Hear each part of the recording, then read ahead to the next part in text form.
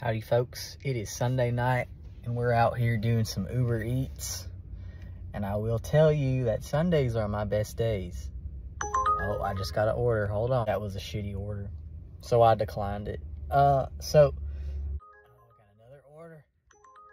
That was another shitty order, so I declined it. Now listen, if you drive for uh, DoorDash, Uber Eats, you know the struggle.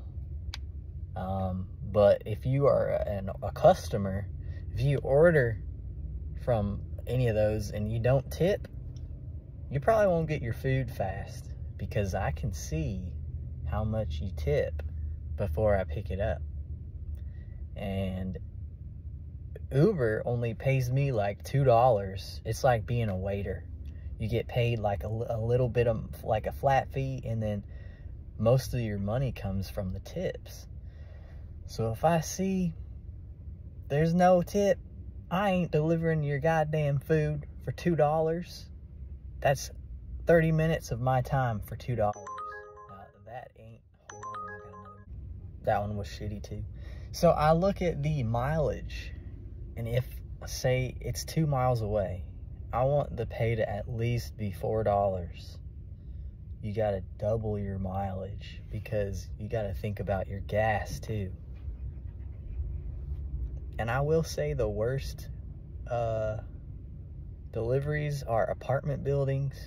They are a pain in the ass because I can never fucking see the number on the building. For some reason, only a select few apartment buildings will light up what number it is. I can't imagine being uh, the 911 people's emergency services pulling up like what what the hell number is this? Y'all better light up your your numbers on your doors too on and your houses. Uh, it helps a lot. And if you're ordering if you're expecting an order come on flip flip your your goddamn porch light on. I'd say 80 percent that i deliver to do not have a porch light on. And do you know how sketchy that is strolling up I'm like, I can't see the number, so let me just stroll up to this random house and flash my, my flashlight in the windows and try to see if I can see the number. So turn your lights on for us, please. But in general, it's been it's been enjoyable. It's been a fun time. Sometimes it's really frustrating, like if a restaurant takes forever. Now see, I keep getting these uh, delivery requests for McDonald's they are taking a goddamn, they're taking a long ass time. So I'm declining all McDonald's and all Whataburger because those hoes are popular. But I don't want to be sitting in the store for 30 minutes waiting on your food. You know what I'm saying?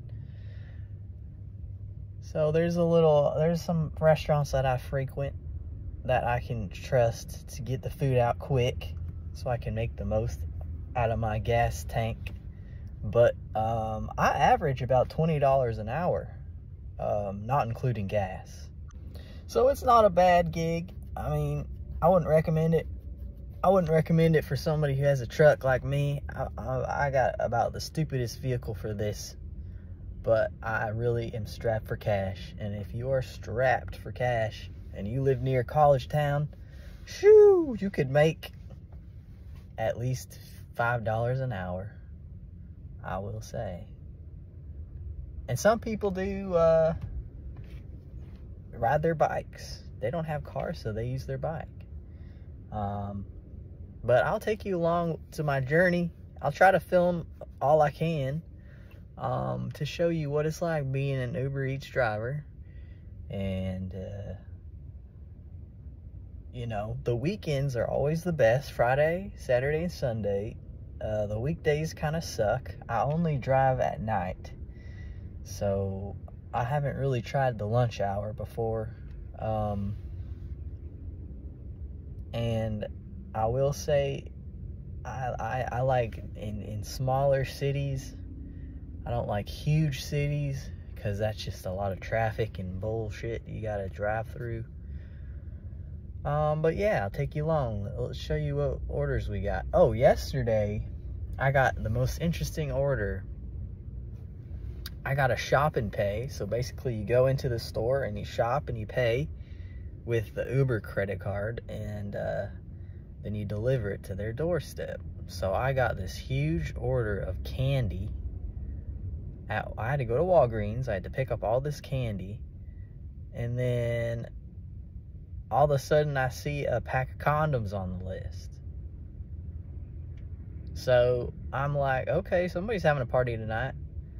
Uh, but they legit got like six things of gummy worms. They were like the big bags of gummy worms and whatnot. And a big soda, two liter soda, and just condoms. I'm like, who are these teenagers? I'm helping prevent teen pregnancy over here. So, uh, yeah, that was my most interesting delivery, I'll, I'll have to say. So, come on to my journey, and I will show you the wonders of delivering food. All right, folks, I got me my little bin here, and I just picked up some wings. We're gonna make about six bucks on this.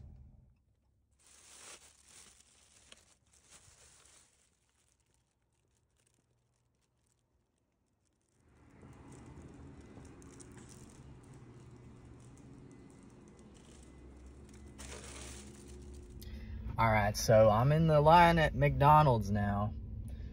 And I'm kind of pissed off because I had a good order for $15 and I went to the place and they're like, oh, somebody else already picked it up.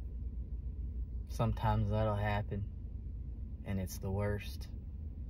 But I recouped and I had another $16 order from a pizza place. And now I'm at McDonald's and it's 11 o'clock at night and the line is pretty long. So we'll see how long this takes. But all in all I've made $69 in three and a half hours. So that's pretty good. That's about $20 an hour. So you know if you can deal with all the bullshit you can uh, make $20 an hour on a good Sunday on a good weekend. Uh, as for the other weekdays eh maybe $16 an hour. It depends on your area, really, but that's how it be. And uh, the most I've ever made on a Sunday is when college just got back into into class or whatever, and uh, I made $30 an hour that Sunday, and that was a lot of fun. I miss that Sunday. I wish I had more of those Sundays, but now that these kids are back in college, they only tip a dollar and I gotta reject them. But if if you if enough drivers reject the order, Uber will up the price. They'll put in a little bit more money so the order gets fulfilled and they don't look bad, I guess. So if enough drivers keep rejecting it, I've I've gotten an order for thirty dollars one time because everybody was like, "Fuck this," you know. I'm not doing this for $2. So then I snagged it up for $30 and that was that was good. I, and I, but I will say sometimes if you pick up an order that's like that's been bumped up to like $30, you'll get there and the restaurant will say, "Oh, uh there somebody already picked it up." Or something like that. And that's when it's frustrating because you get all pumped. You're like, oh, I'm gonna make $30 on this order in 15 minutes. And then, you know, they don't uh, have it. One time at Taco Cabana, they were like, oh, sorry, somebody picked up that order or something. Something's wrong with that order. We can't give it to you. And I looked at the order and it was like four tacos and I was like, I'm just gonna order those four tacos then. Pay for the tacos. It was like ten dollars. And I completed the delivery and I got thirty dollars. So I made twenty bucks on that order. So sometimes you gotta game the system. I mean, you know, if Uber's gonna waste my time and make me drive all the way out there and then the order's not there, I don't get any compensation if I have to cancel it because somebody already picked it up. So I just went ahead and went around the system, delivered it, hey, you know, maybe those people already got their tacos, but I gave them some more tacos because I wanted that. I wanted that thirty dollars. So hopefully Uber can fix their shit uh, when stuff like that happens. I'm sure it's just a glitch, but you know, you gotta you gotta get paid.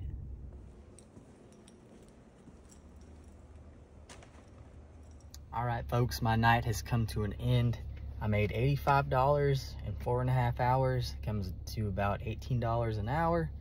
And I'm happy with that. I decided to stop a little early. I usually, my goal is usually $100 a night. But uh, I decided I need to start going to bed a little bit earlier.